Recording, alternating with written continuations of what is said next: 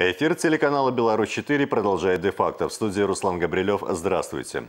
В Гомельской области отмечается рост количества преступлений в сфере высоких технологий. За 4 месяца этого года на территории региона зафиксировано свыше 180 случаев хищения с использованием компьютерной техники.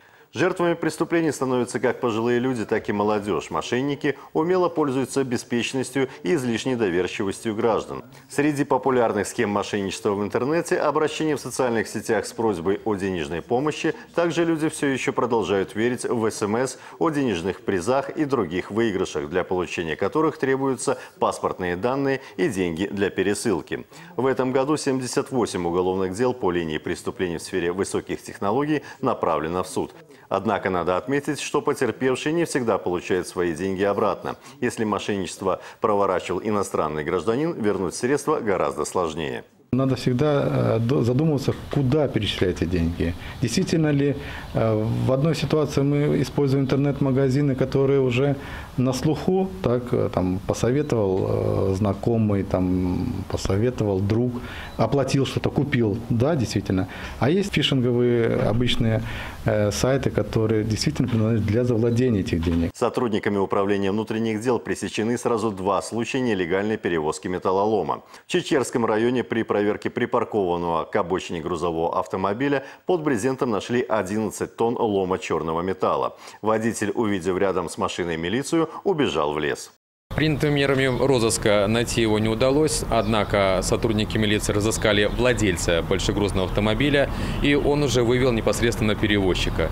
В результате водитель пришел в Чечерский райотдел милиции, рассказал о том, что это действительно его груз, однако каких-либо документов на металл он предоставить не смог. Второй случай произошел в Ветковском районе. Оперативники АБЭП задержали автомобиль Volkswagen Transporter, за рулем которого находился гомельчанин 1975 года рождения. Мужчина без сопроводительных документов перевозил лом цветного металла весом более тонны.